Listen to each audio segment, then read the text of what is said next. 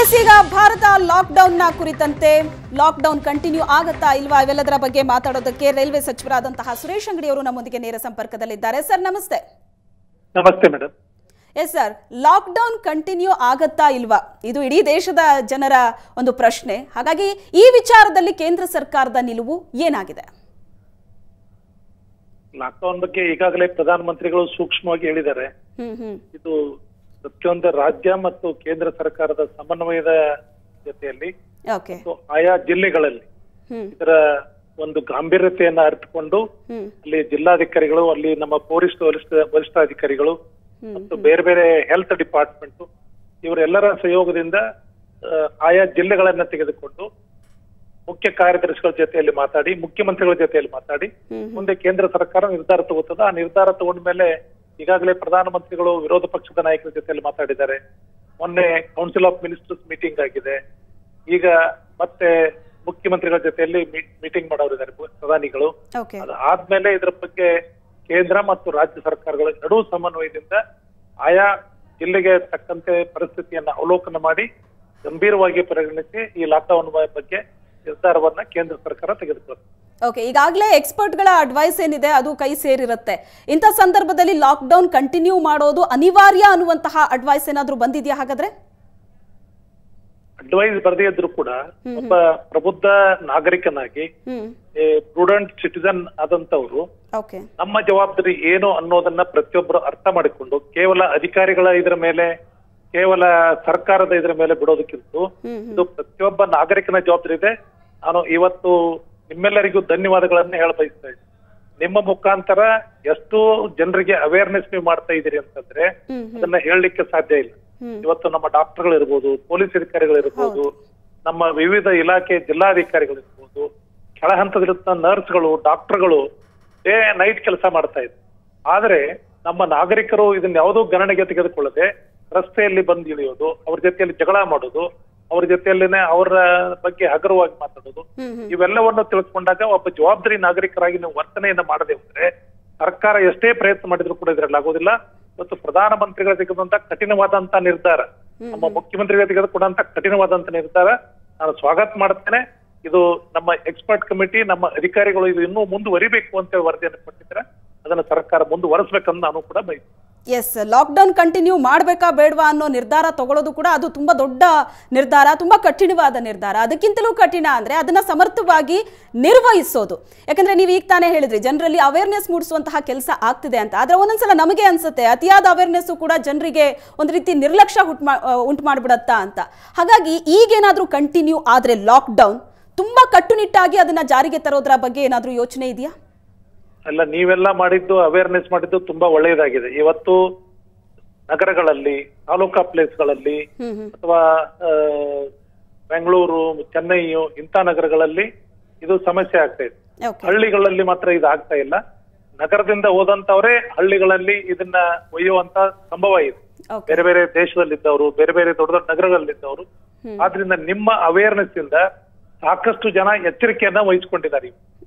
ಉದಾಹರಣೆಗೆ ದಿಲ್ಲಿಯಿಂದ ಬಂದಂತ ಈ ವೈರಲ್ ಅದೇನಾದ್ರೂ ಇಲ್ಲದೆ ಹೋಗಿದ್ರೆ ಇವತ್ತು ಬಹಳ ನಾವು ಸೂಕ್ಷ್ಮವಾಗಿ ಇರಬಹುದಾಗಿತ್ತು ಆದ್ರೆ ದಿಲ್ಲಿಂದ ಯಾವಾಗ ಅದು ಮತ್ತೆ ಬೇರೆ ಬೇರೆ ನಗರಗಳಿಗೆ ಪ್ರಾರಂಭ ಆಯ್ತು. ಉದಾಹರಣೆಗೆ ನಾನು ಬೆಳಗಾವಿಯಲ್ಲಿ ಯಾವುದೂ ಇರಲಿಲ್ಲ ಎಲ್ಲವೂ ನೆಗೆಟಿವ್ ಇತ್ತು. ಹೌದು. ಆದ್ರೆ ದಿಲ್ಲಿಗೆ ಹೋಗಿ ಬಂದಂತ ಜನರು ಇಲ್ಲಿ ಹಚ್ಚಿದ್ರಿಂದ ಅದು ಸಮಸ್ಯೆ ಉದ್ಭವ ಆಗಿದೆ. ಆದ್ರಿಂದ ಇದನ್ನ ಅತ್ಯಂತ ಗಂಭೀರವಾಗಿ ಪರಿಗಣಿಸಬೇಕಿದೆ ಆಯಾ ರಾಜ್ಯದ ಮುಖ್ಯಮಂತ್ರಿಗಳು ಆಮೇಲೆ ಕೇಂದ್ರ ಸರ್ಕಾರದ ಜೊತೆಯಲ್ಲಿ ಸಮನ್ವಯದಿಂದ ಇದನ್ನ ನಿರ್ಧಾರವನ್ನು ತಗೋಬೇಕಾಗುತ್ತೆ. ಓಕೆ ಇನ್ನು ಈ ಲಾಕ್ಡೌನ್ನಿಂದಾಗಿ ಕಂಪ್ಲೀಟ್ ಆರ್ಥಿಕ ಪರಿಸ್ಥಿತಿ ವ್ಯವಸ್ಥೆ ಏನಿದೆ ಸ್ತಬ್ಧ ಆಗಿದೆ ನಿಜ. ಇದು ರೈಲ್ವೆ ಡಿಪಾರ್ಟ್ಮೆಂಟ್ಗೂ ಕೂಡ ತುಂಬಾ ದೊಡ್ಡ ಹೊಡೆತವನ್ನ ಕೊಡುತ್ತೆ. ಹಾಗಾಗಿ ಈಗ ರೈಲ್ವೆಗಳು ಕೂಡ ಕಂಪ್ಲೀಟ್ ಸ್ತಬ್ಧ ಆಗಿರೋದ್ರಿಂದ ಸುಮಾರು ಎಷ್ಟು ನಷ್ಟ ಆಗಿರ್ಬೋದು ಮತ್ತೆ ಹದಿನೈದು ದಿನ ಮತ್ತೆ ಲಾಕ್ಡೌನ್ ಕಂಟಿನ್ಯೂ ಅಂತ ಅಂದಾಗ ಅದಿನ್ನೆಷ್ಟು ದೊಡ್ಡ ನಷ್ಟ ಆಗ್ಬೋದು ಅಂತ. ನಮ್ಮ ರೈಲ್ವೆ ಇಲಾಖೆ ಅಧಿಕಾರಿಗಳಿಗೆ ಅಭಿನಂದನೆಗಳನ್ನ ಸಲ್ಲಿಸ್ತೀವಿ. ನಮ್ಮ ರೈಲ್ವೆ ಬೋರ್ಡ್ ಅಧಿಕಾರಿಗಳಿರ್ಬೋದು ರೈಲ್ವೆ ಮಂತ್ರಿ ಅಂತ ಪಿಯೂಷ್ ಗೋಯಲ್ ಅವರು ಇರ್ಬೋದು ಹಾಗೂ ಹದಿಮೂರು ಲಕ್ಷ ನಮ್ಮ ರೈಲ್ವೆ ಎಂಪ್ಲಾಯಿಗಳಲ್ಲಿ ಅವರ ಕೆಲವೊಬ್ರು ಮನೆಯಲ್ಲೇ ಇದ್ದ ಕೆಲಸ ಮಾಡ್ತಾ ಇದ್ದಾರೆ. ಇನ್ನು ಕೆಲವೊಬ್ರು ಇವತ್ತು ಪಾರ್ಸಲ್ ಅನ್ನ ಪ್ರಾರಂಭ ಮಾಡಿದೀವಿ.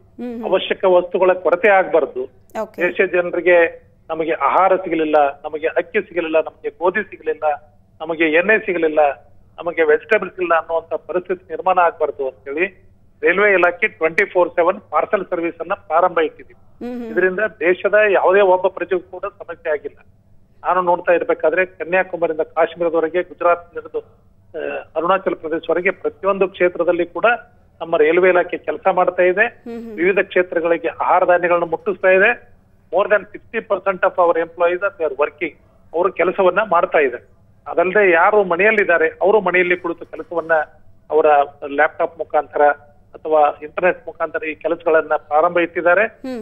ಇನ್ನು ಅನೇಕ ನಮ್ಮ ಯಶವಂತಪುರದ ನಮ್ಮ ರೈಲ್ವೆ ಎಂಪ್ಲಾಯ್ ಆದಂತ ಸಹೋದರಿ ದೀಪಾ ಅವರು ಮನೆಯಲ್ಲೇ ಮಾಸ್ಕ್ ಅನ್ನ ತಯಾರು ಮಾಡಿ ಒಂದು ಉದಾಹರಣೆಯಾಗಿ ಇವತ್ತು ಬಂದಿದ್ದಾರೆ. ನಾನು ಈಗಾಗಲೇ ಬೆಳಗ್ಗೆ ಅವ್ರ ಜೊತೆಯಲ್ಲಿ ಮಾತಾಡಿದ್ದೇನೆ. ಅವರಿಗೆ ಅಭಿನಂದನೆಗಳನ್ನು ಮುಖಾಂತರ ಸಲ್ಲಿಸ್ತೇನೆ ಈ ತರ ನಮ್ಮ ರೈಲ್ವೆ ಎಂಪ್ಲಾಯಿಗಳು ಮೇಂಟೈನಿಂಗ್ ಡಿಸ್ಟೆನ್ಸ್ ಏನು ಪ್ರಧಾನಮಂತ್ರಿಗಳು ಹೇಳಿದ್ದಾರೆ ನೀವು ಸೋಷಿಯಲ್ ಡಿಸ್ಟೆನ್ಸ್ ಅನ್ನ ಮೇಂಟೈನ್ ಮಾಡಿಕೊಂಡು ನಿಮ್ಮ ಕಾರ್ಯವನ್ನ ಮನೆಯಿಂದ ನಿರ್ವಹಿಸಬೇಕು ಅಂತ ಹೇಳಿದ್ದಾರೆ. ಆ ನಿಟ್ಟಿನಲ್ಲಿ ನಮ್ಮ ರೈಲ್ವೆ ಇಲಾಖೆ ಕೆಲಸವನ್ನು ಮಾಡ್ತಾ ಇದೆ. ನಾನು ನಮ್ಮ ಎಂಪ್ಲಾಯಿಗಳಿಗೆ ಧನ್ಯವಾದಗಳನ್ನು ಹೇಳ್ತೀನಿ, ಅಭಿನಂದನೆಗಳನ್ನು ಎಸ್ ಈ ಸಂದರ್ಭದಲ್ಲಿ ರೈಲ್ವೆ ಅಂದ ತಕ್ಷಣ ಒಂದು ವಿಚಾರ ತಟ್ಟಂತ ನೆನಪಾಗತ್ತೆ. ಚೀನಾದಲ್ಲಿ ಹತ್ತು ದಿನದಲ್ಲಿ ಸೂಪರ್ ಸ್ಪೆಷಾಲಿಟಿ ಒಂದು ದೊಡ್ಡ ಬೃಹತ್ತಾದಂತಹ ಆಸ್ಪತ್ರೆ ನಿರ್ಮಾಣ ಮಾಡಿದ್ರು. ನಮ್ಮಿಂದ ಸಾಧ್ಯನಾ ಅನ್ನೋ ಪ್ರಶ್ನೆ ಇರೋವಾಗಲೇ ರಾತ್ರಿ ಬೆಳಗಾಗೋದ್ರೊಳಗಡೆ ನಮ್ಮಲ್ಲಿ ಒಂದು mobile hospital, instant hospital ready ಆಗುತ್ತೆ. ಅದು ಟ್ರೈನ್ನಲ್ಲಿ. ಸರ್, ಇದ್ರ ಬಗ್ಗೆ ಏನು ಹೇಳ್ತೀರಾ? ಅದಕ್ಕೆ ನಮ್ಮ ಪ್ರಧಾನಮಂತ್ರಿಗಳ ವಿಜನ್ ನಮ್ಮ ಪ್ರಧಾನಮಂತ್ರಿಗಳ ಕೊಟ್ಟಂತ ನಿರ್ಧಾರ. ಆದರಣೀಯ ನರೇಂದ್ರ ಮೋದಿ ಅವರು ರೈಲ್ವೆ ಇಲಾಖೆಗೆ ಹೇಳಿದ್ರು. ಚೈನಾದಲ್ಲಿ ಹತ್ತು ದಿನದಲ್ಲಿ ಮಾಡಿದ್ದಾರೆ. ನಮ್ಮವರು ಒಂದೇ ದಿನದಲ್ಲಿ ಪ್ರಾರಂಭ ಮಾಡಿದ್ದಾರೆ. ಈಗಾಗಲೇ ಎರಡೂವರೆ ಸಾವಿರ ಕೋಚ್ಗಳು ರೆಡಿ ಆಗಿದ್ದಾವೆ. ಐದು ಸಾವಿರ ಕೋಚ್ಗಳನ್ನ ಪ್ರಾರಂಭ ಮಾಡ್ಲಿಕ್ಕೆ ಸಾಧಾರಣ ಎಂಬತ್ತು ಸಾವಿರ ಜನರಿಗೆ ಅನುಕೂಲ ಆಗುವಂತ ವ್ಯವಸ್ಥೆ ಮಾಡಿದ್ದಾರೆ. ಮತ್ತು ಇಪ್ಪತ್ತು ಸಾವಿರ ಕೋಚ್ಗಳನ್ನ ಬರುವಂತ ದಿನದಲ್ಲಿ ರೆಡಿ ಮಾಡುವಂತ ವ್ಯವಸ್ಥೆಯನ್ನು ಮಾಡಿದ್ವಿ ರಿಮೋಟ್ ಹಳ್ಳಿಯಲ್ಲಿ ಎಲ್ಲಾದ್ರೂ ಆಸ್ಪತ್ರೆಗಳ ಕೊರತೆ ಇದ್ರೆ ಆ ಹಳ್ಳಿಗೆ ಆ ಕೋಚನ್ನ ಕಳಿಸ್ಕೊಟ್ಟು ಅಲ್ಲಿಯ ಜನರ ಸೇವೆಯನ್ನು ಮಾಡಲಿಕ್ಕೆ ರೈಲ್ವೆ ಇಲಾಖೆ ಸನ್ನದ್ಧವಾಗಿದೆ. ಆದ್ರಿಂದ ನಮ್ಮ ರೈಲ್ವೆ ಇಲಾಖೆ ಅಧಿಕಾರಿಗಳಿಗೆ ಮತ್ತು ನಮ್ಮ ರೈಲ್ವೆ ಇಲಾಖೆಯ ಕಾರ್ಮಿಕರಿಗೆ ಈ ಸಂದರ್ಭದಲ್ಲಿ ಧನ್ಯವಾದಗಳನ್ನು ಹೇಳ್ತೇನೆ.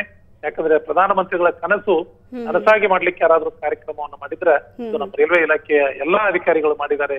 ನನಗೂ ಖುಷಿ ಆಗತ್ತೆ ಹುಬ್ಬಳ್ಳಿಯಲ್ಲೂ ಕೂಡ ಈಗ ನೂರ ಐವತ್ತರ ಮೇಲೆ ರೆಡಿಯಾಗಿದೆ. ಇಲ್ಲಿ ಮುನ್ನೂರ ಐವತ್ತೆರಡು ಕೋಚ್ಗಳನ್ನ ಮಾಡ್ಬೇಕಂತ ಈಗಾಗಲೇ ನಿರ್ದೇಶನ ಬಂದಿದೆ. ಇದೇ ಪ್ರಕಾರ ಬೇರೆ ಬೇರೆ ಡಿವಿಷನ್ ದಲ್ಲೂ ಕೂಡ ಮಾಡಿದ್ದಾರೆ.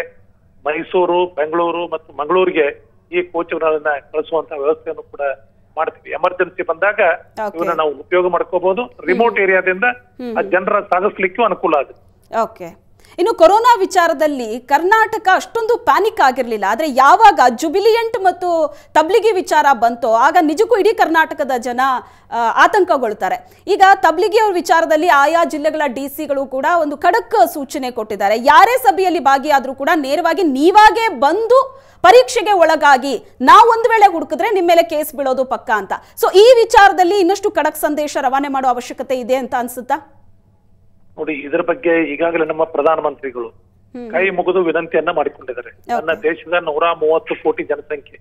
ಪ್ರತಿಯೊಬ್ಬರು ಯಾರು ನಿಮಗೆ ಡೌಟ್ ಇದೆ ನೀವು ಬಂದು ಆ ಸಂಬಂಧಪಟ್ಟ ಆಸ್ಪತ್ರೆಯಲ್ಲಿ ಆ ಜಿಲ್ಲೆಯಲ್ಲಿ ಆ ತಾಲೂಕಿನಲ್ಲಿ ಚೆಕಪ್ ಮಾಡಿಸ್ಕೋಬೇಕಂತ ಹೇಳಿದ್ದಾರೆ. ನಮ್ಮ ಮುಖ್ಯಮಂತ್ರಿಗಳು ಸನ್ಮಾನ್ಯ ಯಡಿಯೂರಪ್ಪನವರು ಯಾವುದೇ ಸಮಾಜವನ್ನು ಟೀಕೆ ಮಾಡದೆ ನೀವೆಲ್ಲರೂ ಚೆಕಪ್ ಮಾಡಿಸಿಕೊಂಡು ಸಹಕಾರ ಕೊಡಿ ಅಂತ ಅಧಿಕಾರಿಗಳಿಗೆ ಹೇಳಿದ್ದಾರೆ.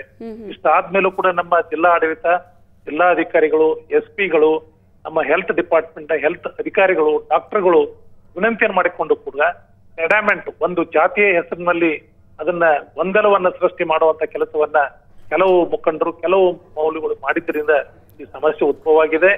ಅದನ್ನ ಕಾನೂನು ತನ್ನ ಕ್ರಮವನ್ನು ಕೈಕೋತದೆ ನಾನು ಕೂಡ ವಿನಂತಿಯನ್ನು ಮಾಡ್ಕೊಂಡು ರೈಲ್ವೆ ಸಚಿವನಾಗಿ ಕೂಡ ನಾನು ಕೂಡ ವಿನಂತಿಯನ್ನು ಮಾಡಿಕೊಂಡಿದ್ದೇನೆ. ನಿಮಗೆ ಯಾರಿಗೂ ತೊಂದರೆ ಆಗೋದಿಲ್ಲ. ಇದು ಯಾವುದೇ ಜಾತಿ, ಭಾಷೆ, ಗಡಿಗೆ ಸೀಮಿತವಾದಂತದ್ದಲ್ಲ.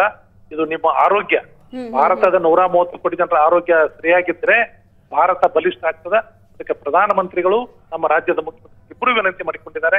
ಅದರ ಜೊತೆಯಲ್ಲಿ ಜಿಲ್ಲಾಡಳಿತ ವಿನಂತಿ ಮಾಡಿಕೊಂಡಿದೆ. ಇದನ್ನು ಮೀರಿ ಅವ್ರೇನಾದ್ರೂ ನಡ್ಕೊಂಡ್ರೆ ಕಾನೂನಿನ ಕ್ರಮವನ್ನ ಕಾನೂನು ಕೈಗೊಳ್ತದೆ ಅಂತ ಈ ಸಂದರ್ಭದಲ್ಲಿ ಎಚ್ಚರಿಕೆಯನ್ನು ಕೂಡ ಕೊಡಬೇಕು.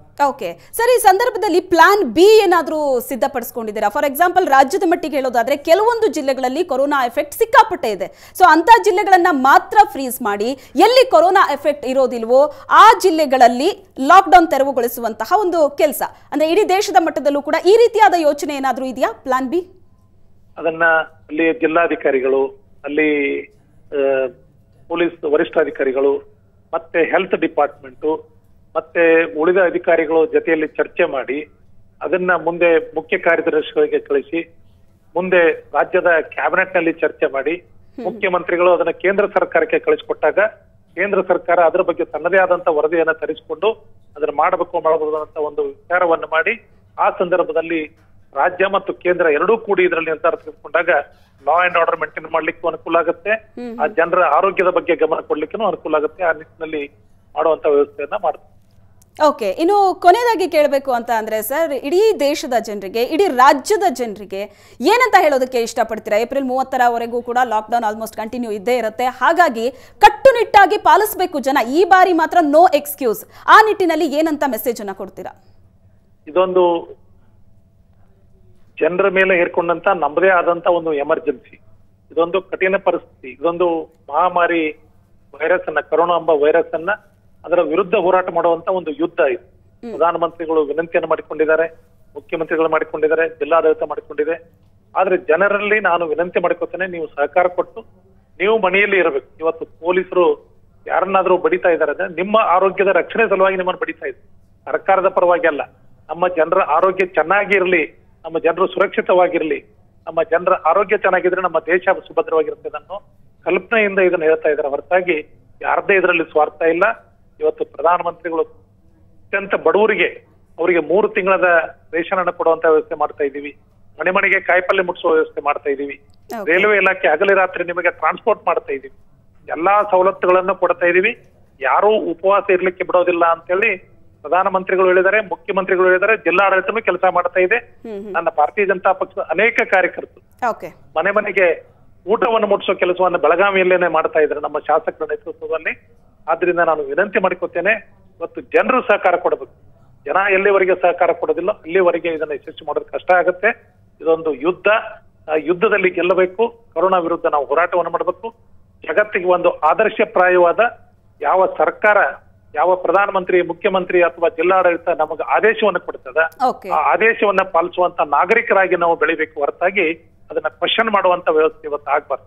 We are in a critical condition ಈ ಸಂದರ್ಭದಲ್ಲಿ ಮಾಧ್ಯಮದ ಸ್ನೇಹಿತರು ಅಥವಾ ಸರ್ಕಾರ ನೀವೆಲ್ಲರೂ ಜವಾಬ್ದಾರಿಯಿಂದ ಡಾಕ್ಟರ್ಗಳು ಮಾಧ್ಯಮದವರು ನೀವು ಮನೆಗೆ ಹತ್ತದೆ ಕೆಲಸ ಮಾಡಿ ರಿಸ್ಕ್ ತಗೊಂಡು ನೀವು ಕೂಡ ಇದರ ಪ್ರಚಾರವನ್ನ ಮಾಡ್ತಾ ಇದ್ದೀರಿ.